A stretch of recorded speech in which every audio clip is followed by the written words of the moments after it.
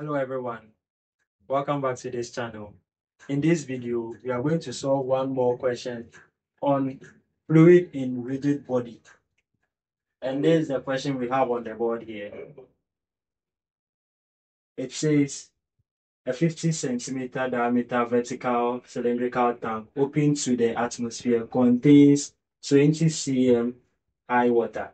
The tank is now rotated about the center line and the water level drops at the center while it rises at the edges. A. Determine the angular velocity at which the bottom of the tank will first be exposed. And B. We are to determine the maximum water height at this moment. So this is the question we have. Let's identify our parameters. So we first have the diameter of the cylindrical tank.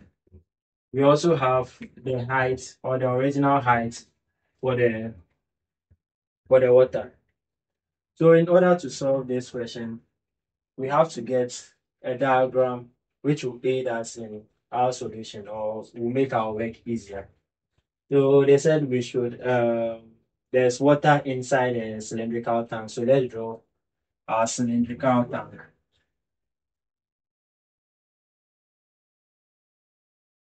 So let's say this is our water level here.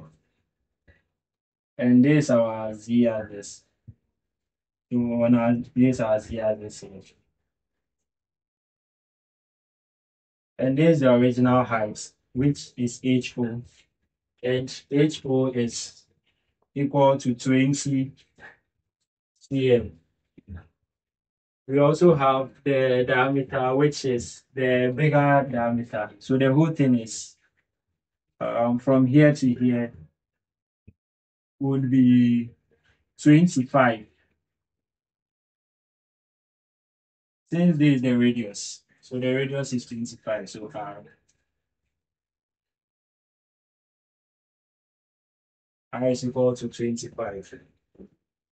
Now we have our point zero here, which is our center, and we have R here.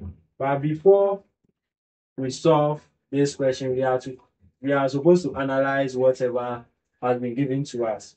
So in our analysis, we have to know that our small r will be on the zero or on the bottom of the tank. So our r is equal to zero and our z since it's at the center line, it's also going to be zero because it's being rotated about the origin. So it's going to be zero. Now, also, you like to determine the free surface or the free surface height, which is ZS. And our ZS, there is also going to be equal to zero since at the before the rotation of the fluid, it was in the middle. So our ZS is also going to be zero.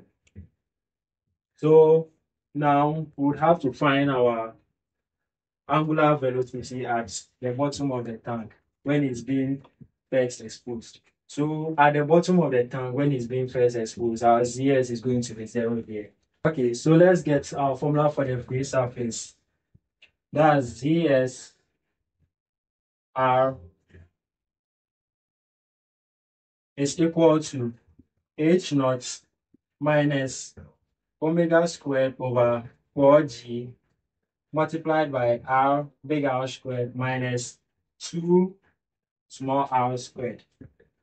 Now we have this data here.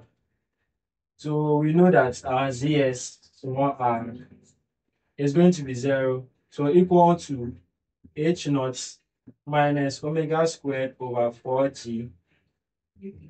We know r here, then minus 2 into bracket 0 squared, which this is going to give us h naught minus omega squared over 4g r squared. Now we want to make the omega the subject since that's what you are, you are supposed to find for. So we would have omega squared is equal to h 4h naught g all over r squared. So this implies our omega is equal to root of 4h naught g over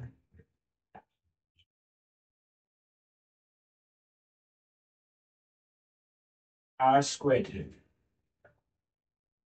So now let's find our omega.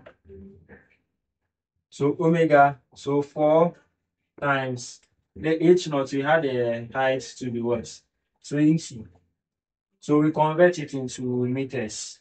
That's going to be 0 0.2 times the acceleration due to gravity, which is 9.81, all over the r squared. This was diameter, so we converted it here. So it's going to be 0 0.25 squared. So now let's do the computation and see what we get.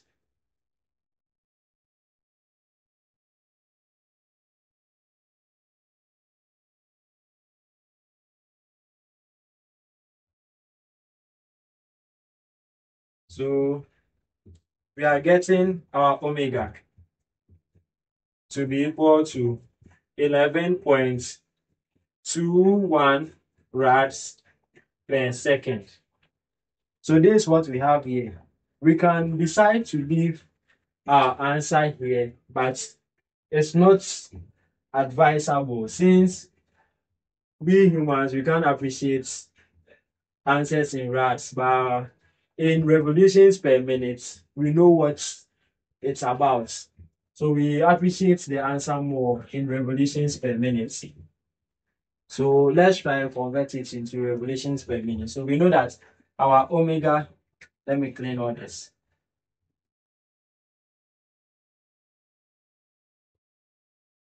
So now omega is equal to 2 pi n over 60.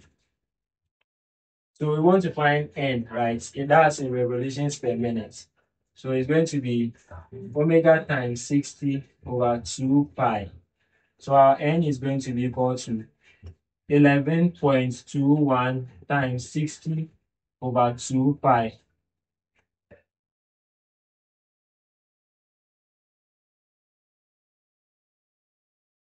And let's see what that gives us.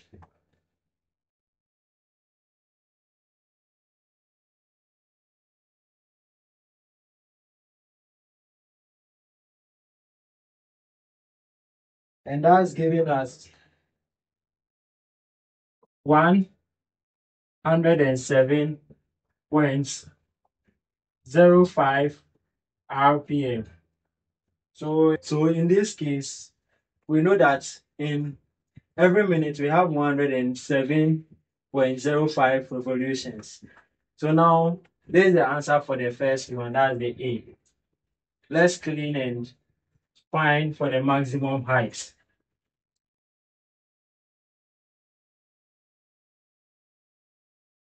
we can write our answer here.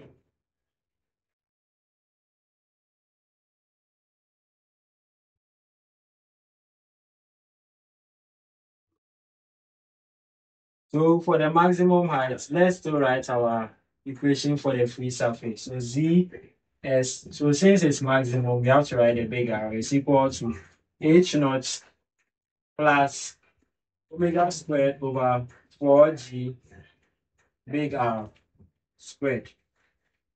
Since the the small r side is zero, that's why I ignored that.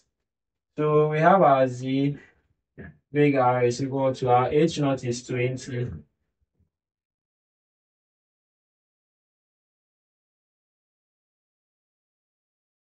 Let's convert it into um, meters. So 0 0.2 plus 11.21 squared times 0 0.2 squared all over 4 times 9.81. So we are going to get our maximum height to be equal to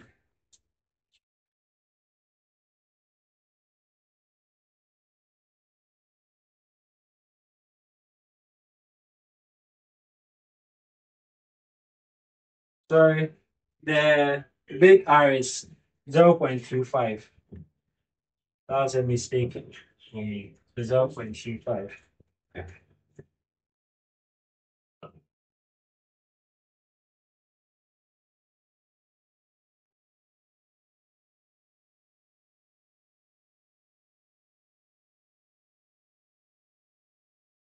Whereas yes, we are getting 0.40 meters or 40 centimeters. So this is the maximum height it can cover.